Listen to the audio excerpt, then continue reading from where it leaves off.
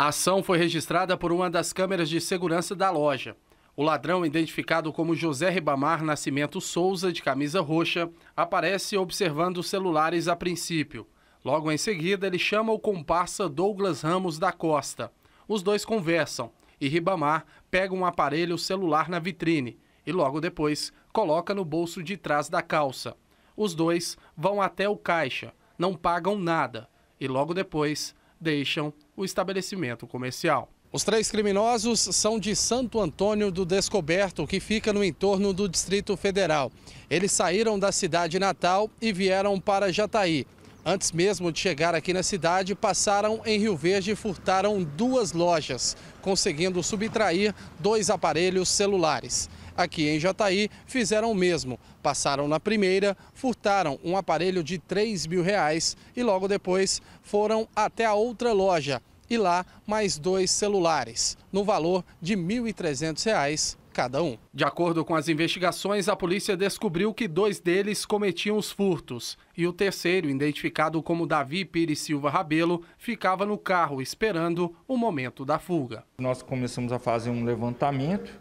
A princípio, nós identificamos o veículo que eles estavam usando e a partir disso aí nós conseguimos fazer a ligação do proprietário desse veículo com os outros dois indivíduos. Né? Descobrimos então que o proprietário do veículo também havia estado aqui em Jataí, já que eles são de Santo Antônio Descoberto, para trazer os outros dois que praticaram é, efetivamente a ação de subtração dos aparelhos celulares. A partir daí conseguimos fazer uma ligação deles com fatos que aconteceram também na cidade de Rio Verde, Inclusive, no dia que eles agiram aqui na volta para Santo Antônio Descoberto, passaram em Rio Verde, praticaram um furto em uma loja lá, furto de celular também.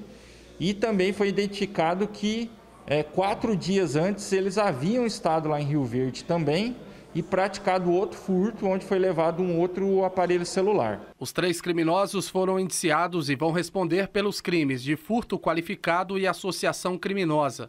Cada um pode pegar até 10 anos de cadeia. Porém, eles seguem soltos em Santo Antônio do Descoberto. Eles foram só indiciados, né? nós estamos avaliando ainda, né? É, principalmente a questão do José Ribamar, para ver se a gente faz um pedido para o judiciário, considerando que ele já tem antecedentes. Não são considerados foragidos, porque tem endereço fixo, né?